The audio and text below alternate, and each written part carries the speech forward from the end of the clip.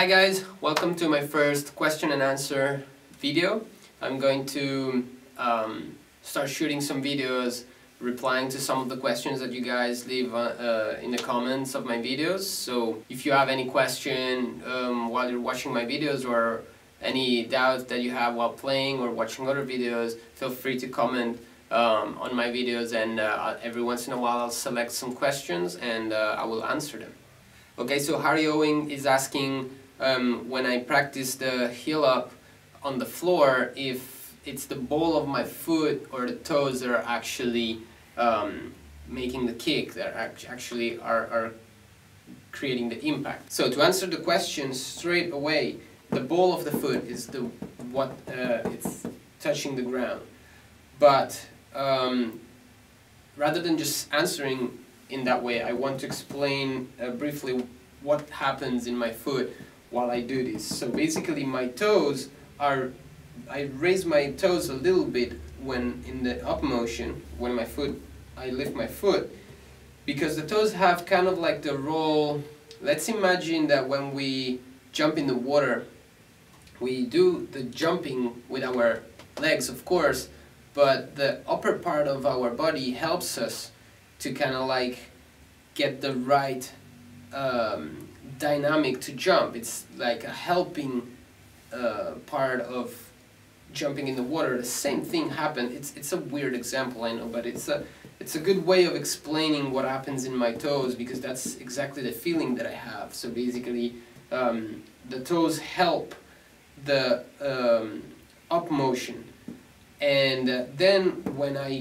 go in the down part instead, I just relax the toes. I never um, contract the toes going down side, down way, okay?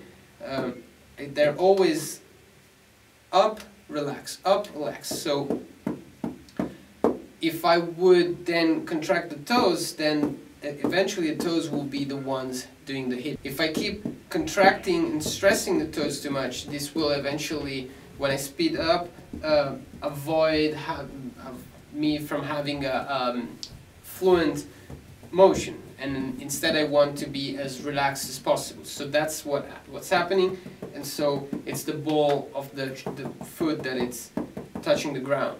But rather than thinking of what part of the foot it's hitting the ground, I think of the toes, how they're moving. If you do this with your hand and you feel your fingers and you understand what's happening in your in the fingers of your hand, it's the same thing that it's happening on um, in the foot. Okay, so focus on on that part rather than understanding what part of the foot it's hitting the ground. I know it could be a reference, but uh, you have to focus on the relaxation rather than what part because then if you focus on oh that part of the foot has to hit the ground um, you will think of that and maybe you do a, a wrong uh, you develop wrong motion, wrong habits because you're focusing on something that it's eventually not uh, the most important thing, okay? Um, it, that doesn't really matter how it lands. In, in the moment that the foot is doing the right thing, that's what matters. If it feels good and it sounds good, that's what it is, okay? Usually when it feels and it sounds good, everything is working perfectly, even when you speed up, and you will feel that the ball of the foot is hitting the ground. This comment from Gregory Stewart that compares me to Bruce Lee. First of all, thank thank you very much. I wish I was um, at that at those levels. But um, the funny thing is that in all my researches, um, one day I actually found myself reading all the Bruce Lee approach of, you know, of course, and Kung Fu. Bruce Lee is just, um, yeah. Um, very known for, for those of that, that, that kind of approach, but all the Kung Fu approach of uh, uh, controlling the body and then use the external forces uh, and take advantage of the external forces so to kind of synchronize whatever um, you're dealing with. And it's funny because it's exactly what I did in my all, all my technique um, development and, and my method is based on that and, and it really my journey has been from starting to understand that the gear wasn't the issue, that my body didn't move um, without, you know, um, on, on its own, and it was all about my brain, and then so I started researching more about the brain and discover uh, that it, everything is way more articulated and complicated than what it seems, that building muscular memories is not uh, really the only thing. There's a lot of psychology going in, it depends on our character, it depends on uh, many things, and, and so um, it's funny because I, I one day found out that information about Bruce Lee and I was like, wow, um, this, this is really like a very similar approach to what I did on drums. And so when I read this comment, I was uh, surprised because somebody else um, saw the same thing. So thank you very much. I really appreciate it. Golden Grillson instead asks me if uh, I prefer the Iron Cobra to the Dynasync. Um, I did a more specific video on the, the Dynasync and um, why I like them, um, even though I never played Direct Drive. I think Iron Cobra is a very good pedal because um, it's it's done in a way that it's a very balanced pedal okay so if you put the the beater at around 45 degrees the pedal the beater goes backward. And if you put it a little bit less than 45 degrees it goes uh, more towards the front. So it's kind of like it has those that 45 degrees perfect balance. And that's really how the pedal is the pedal is built. It's a very balanced pedal, and that's why I think um, it's it works so good for so many uh, drummers.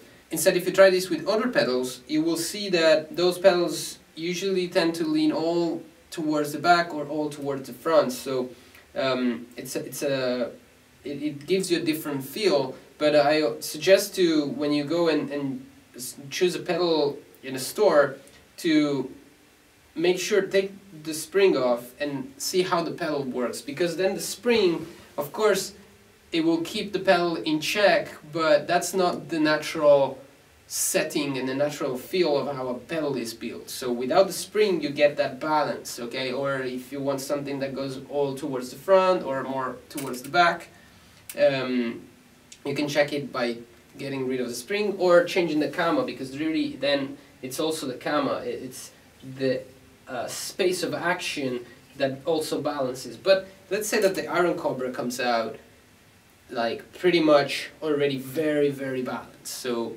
that's what I like about it.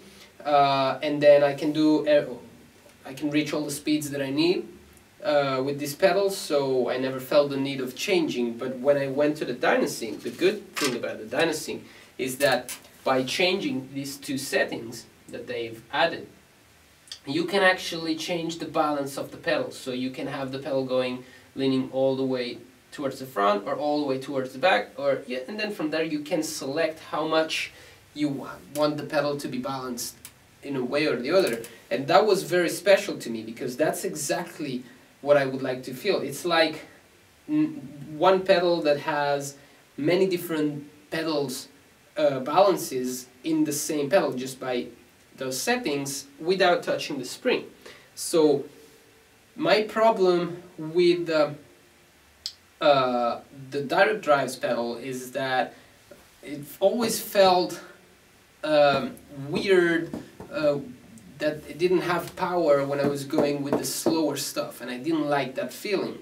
But instead here, as you can see, you, you can actually modify the cama uh, depth basically so you can have more action so it's a more rounded kick or less action so it's a more straightforward kick okay? There's a very good detailed video on a Tama channel that explain the design of this uh, and will make you understand. So now I'm mainly using the Dynasync because I really found settings that um, have the feel that I wanted and that of course the direct drive has, has less lag when you speed up rather than the, the, the chain which might have a little motion and you feel it when you when you speed uh, when you play very fast even though I could still do everything with uh, Iron Cobra so yeah, these are my two choices. Sometimes I use Iron Cobra, mainly use Dynasync now. I'm very happy with those and um, again I'll suggest you guys to just uh, whenever you go in a store get rid of the spring of the pedal and uh, see how it feels, see how the pedal works.